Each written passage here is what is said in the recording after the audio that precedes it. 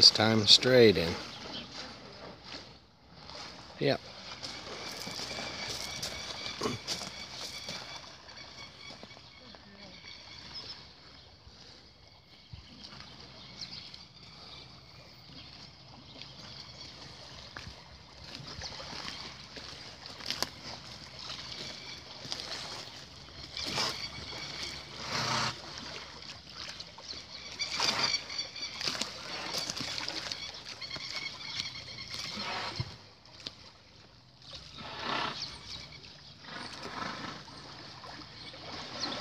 That's a good swim.